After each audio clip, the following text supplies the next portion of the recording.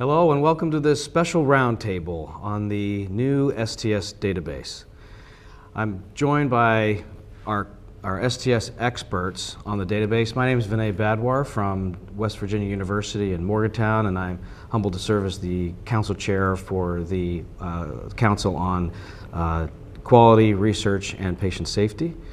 And I'm joined to my right by the uh, 2020 president of the STS, Joseph Dearani from Mayo Clinic, Felix Fernandez uh, from Emory University, the chair of the Workforce on National Databases, Diana Alejo, our special guest as the um, uh, uh head of uh, informatics from Hopkins and a data manager herself and a leader within the data manager community within the STS and John Morris, the um, Vice President of IQVIA, our data warehouse.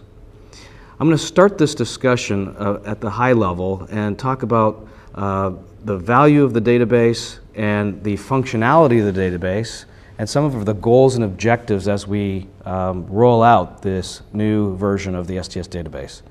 So first question, uh, Joe, uh, this has been a labor of love for the last couple of years as we've uh, uh, looked at innovating the database. Mm -hmm. What does it mean to STS and what does it mean to the specialty of CT surgery? Thanks, Vinay. This is a, a, great way to kick off the discussion. So it's been a labor of love for us for two years, but it's been a labor of love for the STS for like 30 plus years. And the, the STS database is, as I think all of us know, it is viewed as the sort of benchmark database in all of healthcare. Uh, and in a large part because there's almost near all participation with all centers involved with cardiac, thoracic, and congenital heart surgery. Uh, it's become the marker for performance, it's become the marker for quality improvement initiatives, and it's become a marker for research. And now we have a platform that's going to enable us to do all those things much more efficiently much more timely, and it will be real time. So it really truly is a, a trusted database that has been transformed now to uh, current times that it's going to make it easier for everybody involved, and it will help mostly our patients. Excellent. Felix, um, you're one of the leaders in this entire initiative. Um, tell us what it really means and for the end user, uh, how are we going to roll out this new database? Well, uh, thank you, Vinay. So, um, as you mentioned, we're ready to roll out this database uh, right now, and um, what uh, our participants and data managers uh, are, are going to see are several uh, new functionalities that, that will make it easier uh, to upload clean data and use your data in a meaningful way in real time. So, the first functionality is a 24-7 cloud-based platform. So what this will let you do is essentially upload, uh, manipulate, and download data in real time. Uh, our, our, participants will have access to interactive dashboards. Now these dashboards will present uh, your data as they are entered uh, into the database and you'll be able to drill down to specific patients, risk factors, or outcomes uh, of interest and these of course will all be compared to the STS benchmark data. For our data managers, they will have uh, enhanced data quality reports. As the data is entered, they will get immediate feedback uh, on their data quality and they'll be able to drill down uh, to specific uh, data quality issues, which will just further enhance the already high accuracy uh, of the STS data. And finally, coming uh, this summer in July, there will be an uh, option for web-based data entry at, at, no additional cost to our participants. And what this lets you do is uh, perform data cleanup as you go, so it will also be a, a significant uh, enhancement. Excellent. Uh, John, I'm going to ask you something. You know, a lot of people worry when you send data up into the cloud right. that is it secure? Yeah. And part of this initiative and part of the reason it's taking time is that the STS wanted to really make sure that the fidelity and data security was at the absolute highest levels. Right.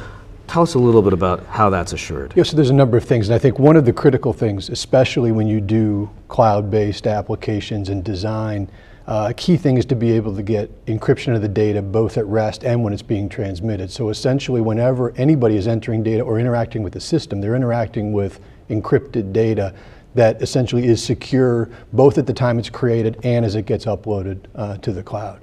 Uh, a critical thing, you know, uh, IQVIA 65,000 folks who are working around the world, uh, pulling applications and these kinds of workflows together.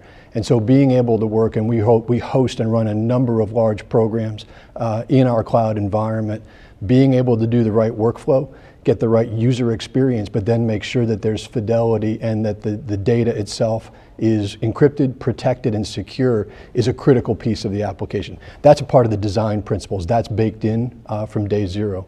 We are excited as well uh, about not only the web-based uh, data entry options, but being able to go and bring novel applications, novel analytics to the STS data. So this platform opens up a whole range of things for us, including you know, AI and ML opportunities to begin to look at what we can do around streamlining data and data elements, being able to look at, at new other components as well, like patient reported content and how we can integrate patient reported content. So the platform gives us that capability. It's a strong foundation to build on. Uh, we've got folks literally 24-7. Just as it's up 24-7, uh, we have folks 24-7 working with the team, so we're excited to be part of that. Well, thank you very much. It's, it's uh, having security in the data becomes so important, yeah. and you've just outlined the potential future malleability Absolutely. and flexibility of how the data can then be utilized yeah. and where we could potentially go from here. Agreed. Uh, and, and, I'll just say, just going back to for Dan and the folks too, it's so critical right now because the workflow around the data managers upload data quality reports, missing variable, being able to get that at the time that you interact with a particular record, not having to wait, but essentially bring that forward for fidelity. And again, it changes the workflow a bit, but it's a great segue into. It, it keeps it quite accurate. Absolutely, yeah. So, so Diane, you, you know, you're you've been a, a tremendous leader over the years as the database has developed and expanded, and we bring in more data managers and other leaders around the country. Tell us what this potential transformation uh, means to the data managers and to you. Well, thank you. Um, I think it, it's going to be a transformation for data managers in their workflow, and I think it's an exciting opportunity um, to be able to leverage this new platform, um, integrate it into your workflow, and uh, meet the end goal of delivering high quality data metrics to improve quality at your hospital. Data managers are committed to collect and extract accurate data because they know the importance of the data and how it's used to improve the, uh, the care of our patients. I think IQVIA and the STS have invested a phenomenal amount of resources in really making the system um, complement the, the old way of how we used to clean data with the DQ report. But the new process allows you to actually get in in real time and dig into your data uh, focus on what's important in terms of the risk metric variables, uh, your NQF performance measures. So I think it's really going to enhance them. They can spend more time working with the output of the data than cleaning up the data because they'll have real-time opportunities to do that. Well, maybe I'll ask you a follow-up question because, you know, part of the concern when we talk about management of uh, a quality program within your institution uh, and costs associated with that um, there's some fees associated with participation, but the vast majority, particularly in bigger programs such as yourself, um, is has to do with the amount of time people spend and the uh, the efforts that go into that, and how many people you have to then hire because it takes so long. What does this potentially mean to institutions and potentially to your program, and for all programs that the data managers tend to spend a lot of time um, with this? How does this refine things? So I think on two, uh, on, on two ways, um, it's going to refine and enhance. I think the uh, interactiveness of um, the whole data quality process in terms of importing your data, getting real-time feedback, allowing to drill down to the record level is very intuitive and um, going to um, make it much more easy to clean up your data more frequently, not wait to get a, a, a feedback report um, before you can actually go to the next step. And then the future of IQVIA in terms of integration uh, with the electronic medical record, I think that sets the stage that data managers can focus on the data and the analytics of the data and um, when the time comes where we can import data from an EMR, uh, copy and pasting lends itself to some data entry error, but I think having the confidence that that integration in the future is going to change it. So data managers are going to be more engaged. And I think also this platform, more importantly, is going to get surgeons more engaged in the data and the analytics. And the resources at, at an institution and participating in the STS database it's not just purely chart abstraction, it's actually using your data and engaging a physician champion to uh, look at your data and use it to improve um, processes, Excellent. to improve quality. Thank you so much. Um, Felix, uh, we're, we're planning a phased rollout. So um, the initial phase is really essentially being able to do the uploader function, data quality report, missing data report, and the dashboard function, initially with unadjusted data compared to STS benchmarks. But in a very short order, the, the, the whole data set is live now and it's already been developed for the second phase.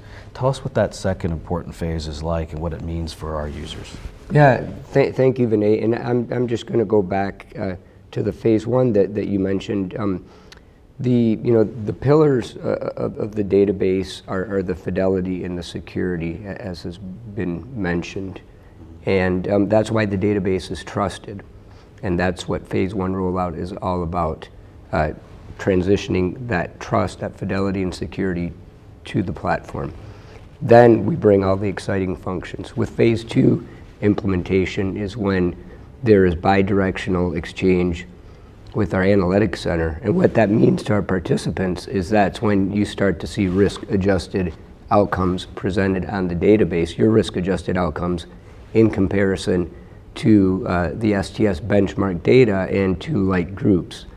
But it, it really doesn't stop there. As John mentioned, this is not a static uh, uh, platform, and that's the really exciting thing about it that uh, further enhancements and innovations can uh, continuously be implemented into uh, this platform as they are developed to meet the needs uh, of our participants, our, our, patients, and really to tailor it to each of our uh, component database registries, the, the adult cardiac, the, the congenital and thoracic databases.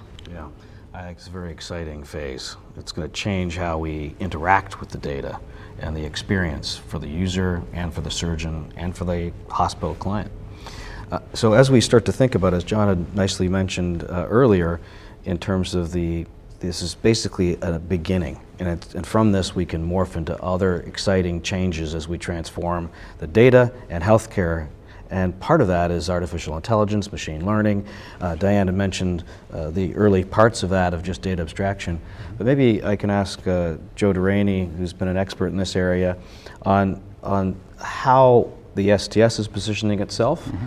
with IQVIA, with this new platform, mm -hmm. on using machine learning and artificial intelligence to really transform data even further it's great, uh, Vinay and John. I mean, this is the, the, opportunities for us are just limitless. So if we look at what the STS has contributed in, in the arena of evidence-based medicine and surgery over the last 30 years with the database, we now have a situation where we have a large number of data points that have been validated over the course of decades with audits, et cetera, and uh, we have the ability now to do machine learning, which I think, as all of us know, the ability to perform and accomplish successful artificial intelligence and machine learning requires a large number of data points that have been validated.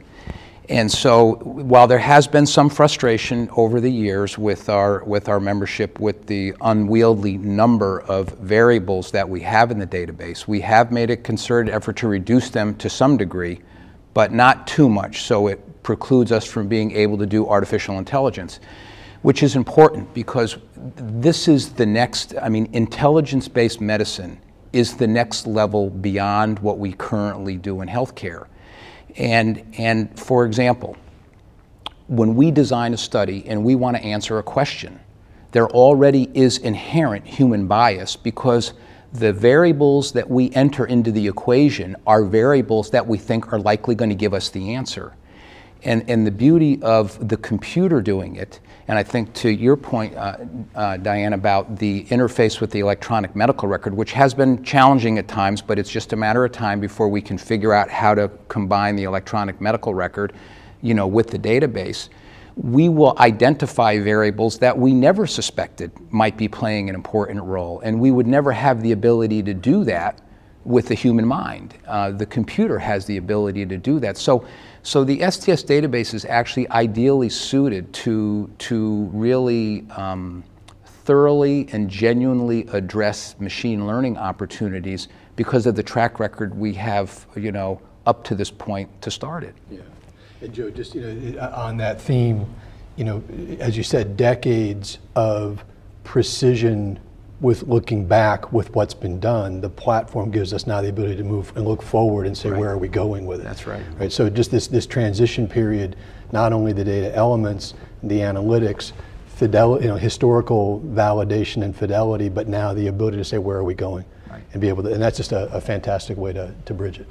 So this is a really exciting time for the specialty of cardiothoracic surgery. I mean, we've already migrated 8 million records from the historical STS database into the cloud using the IQVIA highly secure data platform. Right. We'll have it functionality, uh, the initial functionality being the data quality reports, real-time accessible, with initially unadjusted data, but then moving to risk-adjusted data real-time. Correct. And then in July, the adult cardiac surgical database initially will drop its variables as the upgrade occurs by 34%. Is that the- Thirty-four percent drop in, in the data elements. So we're then going to make the user functionality even more enhanced. I'm sure the data managers are going to like that. For sure. And being able to upload it quickly. So this has been a really excellent conversation, um, and I think we're we're facing Joe. Yeah, I was just going to say, as I was thinking about all these, I'm so jazzed up about all this stuff. Um, one of the things I was going to say that I think is, is important for our membership to know and for the public to know is that if you look at the three specialties within our domain adult cardiac, general thoracic surgery, and congenital the two most common causes of death in this country are heart disease and lung cancer. And the most common congenital defect is a congenital heart defect. So, I mean, this, this organization and our specialty, we are really ideally positioned now to answer questions and solve problems that will have the greatest impact in terms of the number of people affected um, when you look at these three different areas uh, uh, in, the, in the country and, and, and beyond. I couldn't think of a better way to close a jazzed president of the STS. Uh, so from the 56th annual meeting here uh, at the STS in New Orleans, uh, thank you for participating.